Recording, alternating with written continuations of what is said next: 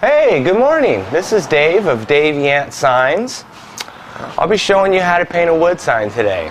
This is a sign that I just did. Uh, it's on uh, MDO plywood, painted with one-shot lettering enamels. Um, got a nice arc to it, some colors, few outlines.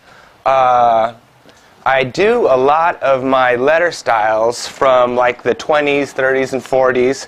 These letter styles was from Atkinson Sign Painting Book, a great book, pretty old, but um, has some great alphabets, great information, so I'd highly recommend this book. Um, this is the sign that I'll be painting today for a customer. Just a pretty simple, straightforward uh, sign painting, and I'll be showing you how to make the pattern and how to letter it. Um, and I just want to let you guys know sign painting is still alive.